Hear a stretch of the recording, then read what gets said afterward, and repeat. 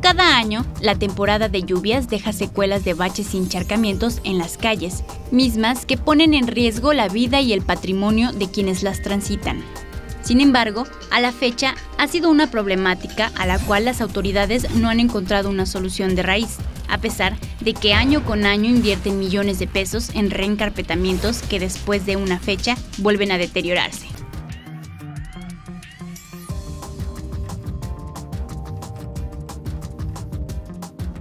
¿Acaso será redituable?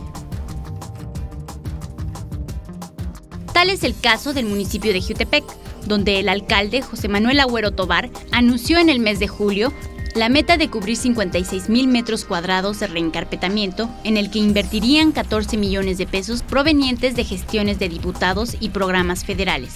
A dos meses de haber cubierto algunas calles principales con asfalto, como Subida Tamuanchán en la colonia Progreso, que conecta las colonias Jardín Juárez, La Corona, entre otras, con el Boulevard Cuauhnáhuac, ya se encuentra deteriorada, lo que indica la falta de calidad de los trabajos. Asimismo, Agüero Tobar destacó el reencarpetamiento total de Paseo de las Fuentes, avenida que se encontraba completamente deteriorada. Sin embargo, la mayoría de las calles de esta zona se encuentran en mal estado. Un ejemplo es la calle Eucalipto, a la cual el propio alcalde refirió que en próximos días, una vez terminado Pedregal de las Fuentes, la repararían, lo cual no se ha llevado a cabo, y a la fecha los ciudadanos siguen padeciendo de los encharcamientos y baches.